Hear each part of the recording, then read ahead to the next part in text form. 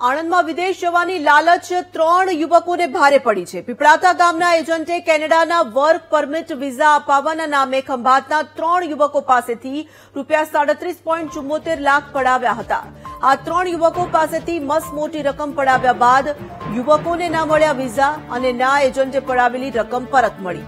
આખરે યુવકોને પોતે છેતરાયા હોવાની જાણ થઈ અને મહેશ મૈડા નામના એજન્ટ સામે પોલીસ ફરિયાદ કરવામાં આવી છે. સમગ્ર મામલે પોલીસ કાર્યવાહી હાથ ધરવામાં આવશે.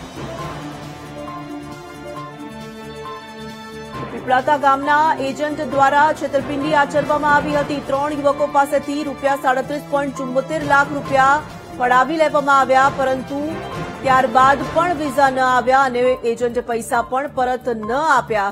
આખરે એ યુવકોએ એજન્ટ સામે પોલીસ ફરિયાદ દાખલ કરાવી છે.